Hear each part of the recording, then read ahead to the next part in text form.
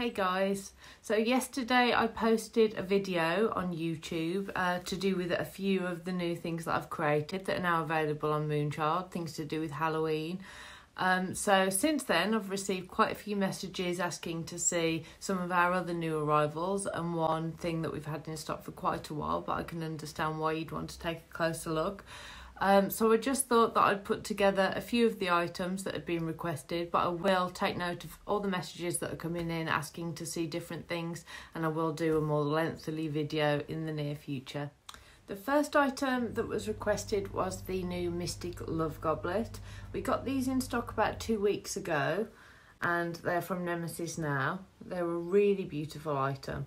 So it's a goblet, as you can see, with a stainless steel insert and there is a pentacle with a jewel at the centre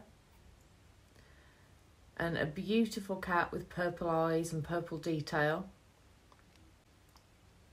Lovely spiralling detail going around the base of the goblet and at the back of the goblet you can see again another jewelled pentacle and jewels lining the stem.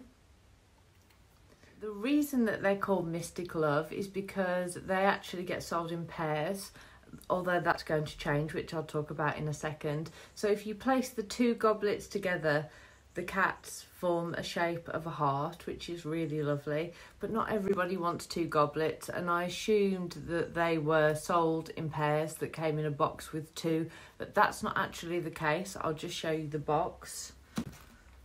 So each one comes in this beautiful box and I am going to begin selling them as singles because I realise not everybody wants to have two of them. The second item is the new Dark Spirit Skull. He's a very handsome chap from Nemesis now and when I received these I really was taken aback by the size of them. Um, I assume that they would be a lot smaller. Sometimes you see sizes on websites when you're buying online and you can't really picture in your head how large they're going to be. So this is why I like to do these videos to give you more of an idea of the size. So this is the Dark Spirit Skull and he features a spirit board design on his face. He features a crescent moon at one side of the skull, a pentacle at the back and a sun at the other side.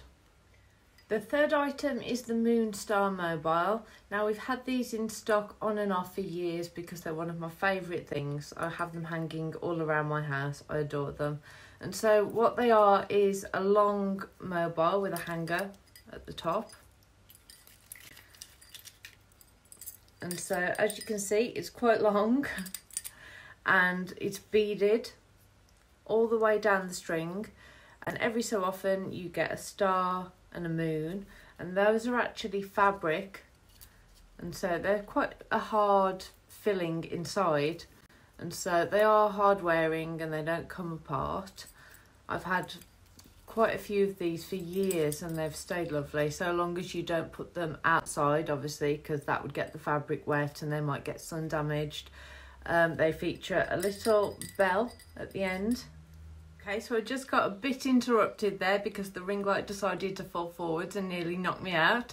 So back to the Moonstar Mobile. As I was saying, it's a beautiful item and it really does bring a lovely bohemian vibe to wherever it's placed. So those are available on the website. The last item is the Witch's Aperitif mug.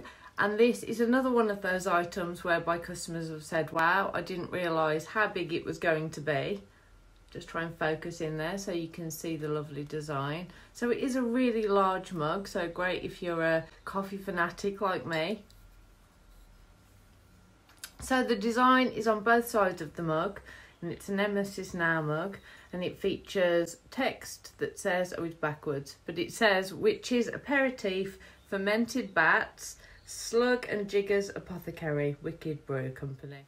So that just about wraps up the items that I wanted to show you today.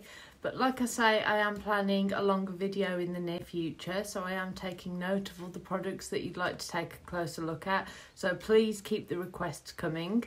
But until next time, take care, stay safe, and blessed be.